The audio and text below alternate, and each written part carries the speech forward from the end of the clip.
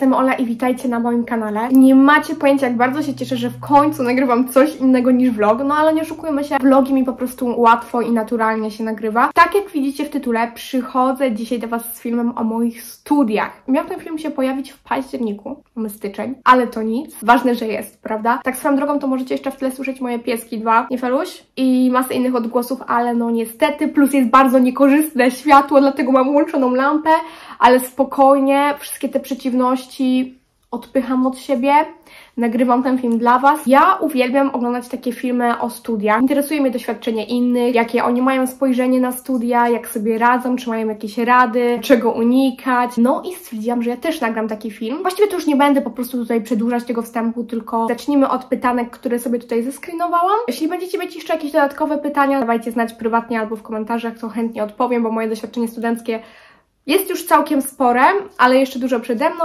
także już nie przerywając po prostu zapraszam Was do oglądania. Pierwsze pytanie. Łatwo nawiązać znajomości na studiach? Nawet jak nie chcecie tych znajomości nawiązywać, to i tak je nawiążecie, więc się nie musicie o to martwić. To wydaje mi się przyjdzie bardzo naturalnie. Na studiach jest wiele okazji, gdzie musicie pracować w grupach, więc e, chcąc czy nie chcąc musicie się w te grupy przydzielić, więc poznacie kogoś nowego. Kiedy jest ten pierwszy dzień, raczej się do kogoś dosiadacie, więc też kogoś poznajecie. W moim przypadku było tak, że na dziennikarstwie Moniczka tworzyła grupę na Messengerze i tak się zaczęłyśmy jakoś dodawać i ja się z nią zgadałam, że się spotkamy pierwszego dnia przed uczelnią standardowo, no i tak to było. I właśnie zazwyczaj polecam śledzić grupy bądź strony na Facebooku, bo tam często ktoś, kto idzie na pierwszy rok zakłada właśnie jakąś grupę i ludzie się tam e, zapraszają wzajemnie wiecie, powstaje Messenger, wszystko i tak jakoś idzie. Na pewno nie bójcie się, że będziecie wykluczeni czy coś takiego. Grupy są obszerne, więc na pewno łatwo e, kogoś znajdziecie, z kim będziecie sobie razem tam, wiecie, chodzić i tak dalej, więc nie jest tak trudno nawiązać znajomości.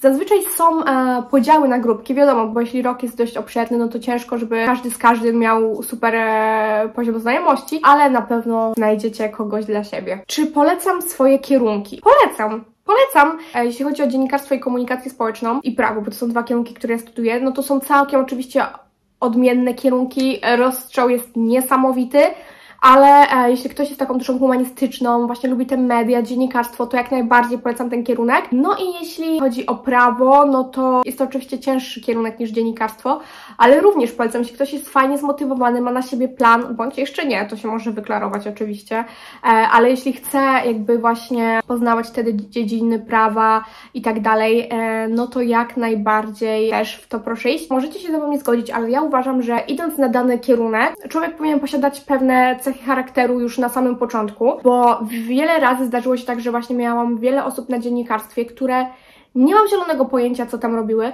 Oczywiście może oceniłam pochopnie, ale jednak byliśmy razem przez 3 lata i nie wykazywały się takimi e, cechami, które uważam, że w tym zawodzie by się przydały. Tak samo jest, e, jeśli chodzi o prawo. Też są oczywiście osoby, które już teraz nie potrafią myśleć logicznie, nie potrafią negocjować, nie są e, zbyt pewne siebie, nie potrafią brnąć w coś, nie są takie stanowcze. Mogą mieć trochę ciężej. To nie jest powiedziane, że im się nie uda iść w tę ścieżkę prawa, ale wydaje mi się, że mogą mieć po prostu trochę ciężej, więc też e, patrzcie na to z tej strony. Tak mi się wydaje i ja to tak po prostu odczuwam. Ale pytanie właściwie jakie było? Czy polecam swoje kierunki? No tak jak mówiłam, polecam.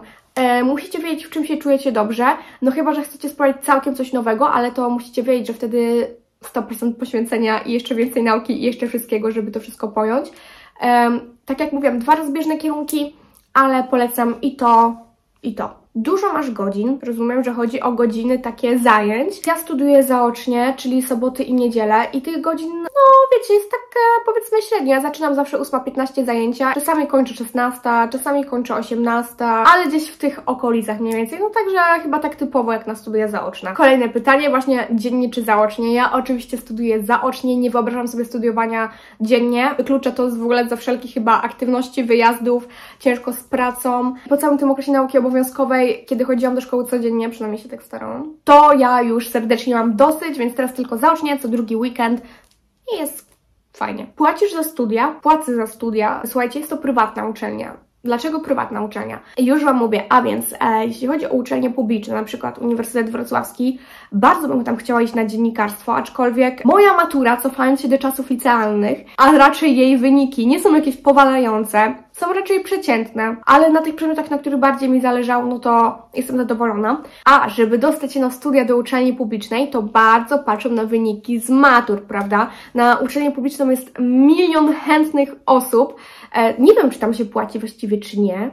Dajcie znać, bo ja nie jestem w ogóle w temacie uczelni publicznych. I żeby tam się dostać, to jest kupa stresu, wszystkiego, to nie jest dla mnie. Ja postanowiłam sobie życie trochę ułatwić, dlatego wybrałam właśnie uczelnię prywatną, ponieważ tam nie patrzą tak bardzo na wyniki e, matur, ewentualnie później, kiedy dopasowują Ciebie do jakichś poszczególnych grup językowych na przykład, a tutaj jednak obowiązuje po prostu kolejność zgłoszeń. Jeśli zgłosisz się szybko, no to już jesteś zapisany. No i tak jak było właśnie pytanie, czy płacę za studia, no niestety płacę w takim przypadku. Sama sobie wybrałam tę uczelnię, więc e, byłam świadoma tej decyzji, byłam świadoma tego, że będę musiała płacić, więc ja na to nie narzekam.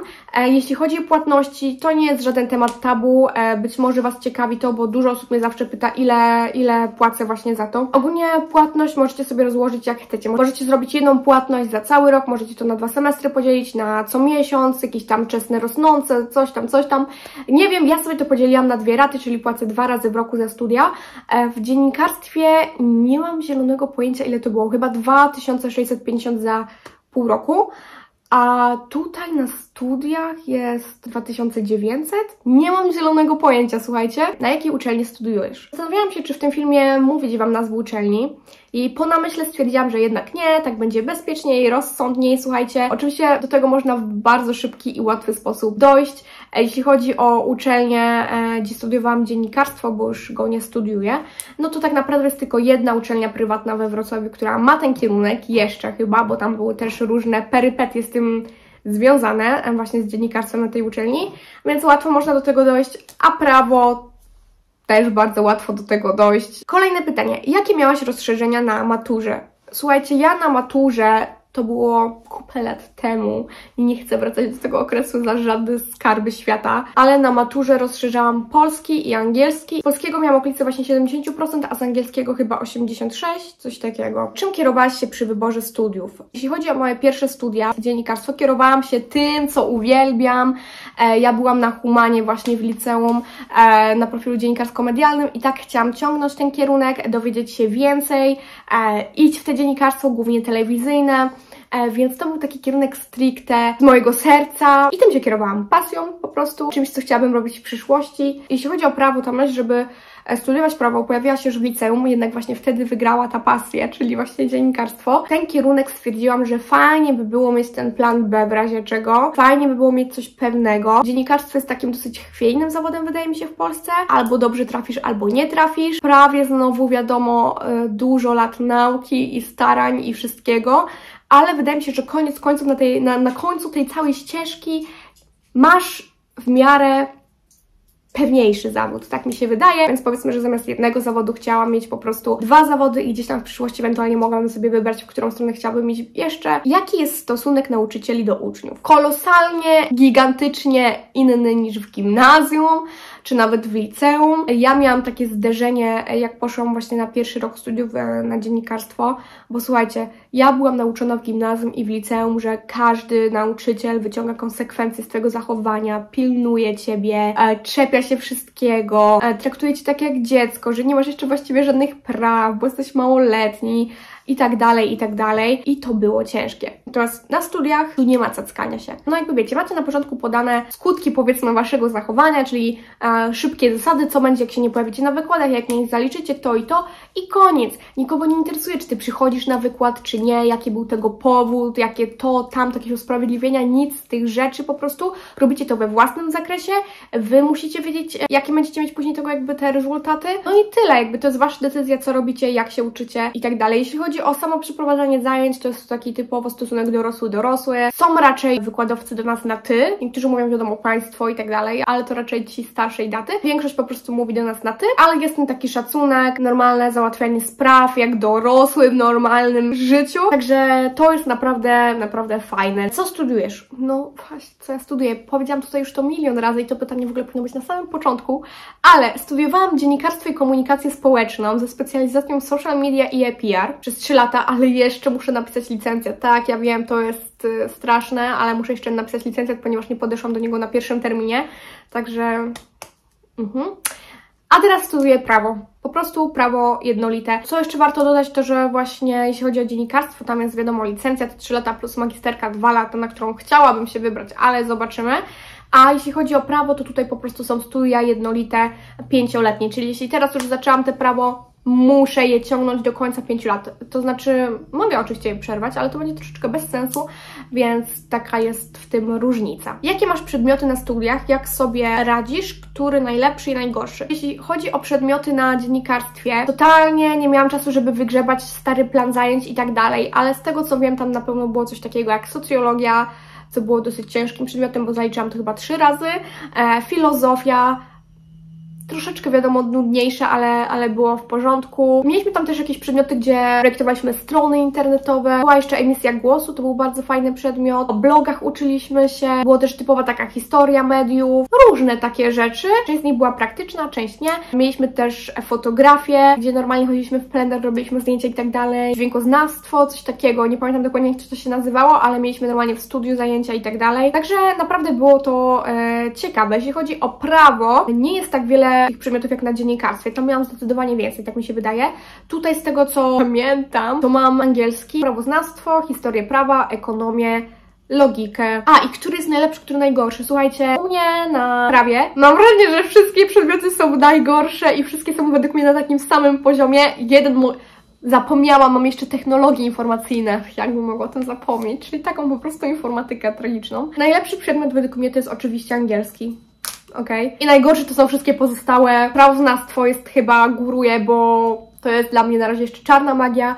Historia prawa w miarę ok do wykucia, ale prawoznawstwo to jest no bardzo ważny przedmiot według mnie.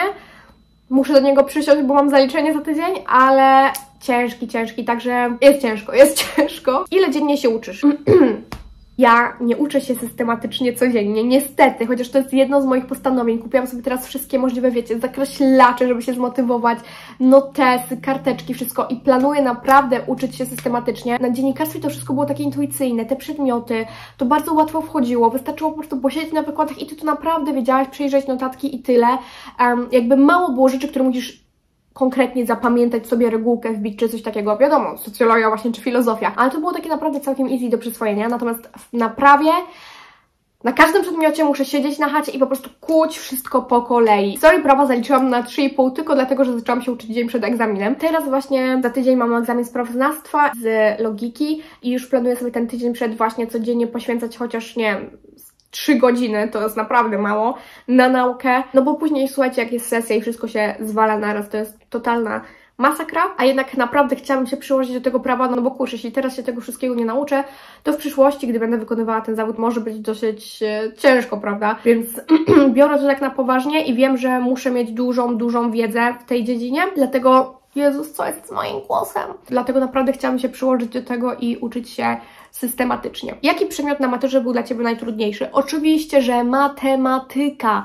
Nigdy więcej. Ja teraz na ekonomii mam takie zalążki matematyki powiedzmy yy, i pracujemy sobie zawsze w grupach nad tym wszystkim i jak ja widzę matematykę mówię, kochani, kocham Was, ale ja się w tym momencie odcinam, ja nawet na to nie patrzę, bo ja dostaję po prostu ataku paniki i nerwów. Ja nienawidzę matematyki, ja mam traumę po matematyce. Ja byłam e, zagrożona z matematyki, więc ledwo zdałam matmę. Na maturze miałam poprawkę z matmy, to mogę się przy, przyznać bez bicia, nic strasznego. W sensie poprawka straszna, ale nic strasznego, że się przyznaję. Nienawidzę matematyki, unikam jej jak ognia. Jakiego drugiego języka uczyłaś się w liceum, w gimnazjum? Uczyłam się, w gimnazjum uczyłam się niemieckiego, w liceum uczyłam się hiszpańskiego. Miałam do wyboru chyba francuski, niemiecki i hiszpański, ale oczywiście wybrałam hiszpański, nie żałuję. Jeśli chodzi o poziom mój aktualny, to i chyba w niemieckim i w hiszpańskim jest on taki sam, czyli umiem powiedzieć kilka zdań i tyle. Ale jeśli chodzi o hiszpański, to bardzo chciałabym do niego jeszcze wrócić. Matma czy polski? Dlaczego te pytanie? Wiadomo, że polski, wiadomo, że polski. Nienawidzę matematyki. Jeśli ktoś jest dobry z matematyki, podziwiam bardzo i szanuję, ale też bardzo nie rozumiem. E, I na jakim profilu byłaś w liceum? Byłam właśnie na profilu dziennikarsko-medialnym, czyli typowy human, rozszerzony polski, milion lektur. Miałam też chyba rozszerzoną historię i angielski właśnie. No i tak to, tak to było. Słuchajcie, to są już wszystkie pytanka, jakie miałam. Wiem, że być może dosyć chaotycznie to tu wszystko powiedziałam. Dużo informacji się powtarzało w tych pytaniach. No jest jak jest. Gdybyście mieli jeszcze jakieś pytania, to dawajcie znać. Ale wydaje mi się, że poruszyłam takie dosyć wszystkie istotne kwestie. Może ktoś z Was wybiera się na dziennikarstwo, może ktoś z Was wybiera się na prawo, także z miłą chęcią pomogę, doradzę i tak dalej. Ja Wam bardzo dziękuję za oglądanie tego filmu. Dawajcie koniecznie znać, co sądzicie. Tak. Felek! Czekam oczywiście na opinie, czy takie filmy gadane o jakiejś konkretnej tematyce Wam się podobają. No i co? Dziękuję Wam bardzo za oglądanie i do zobaczenia.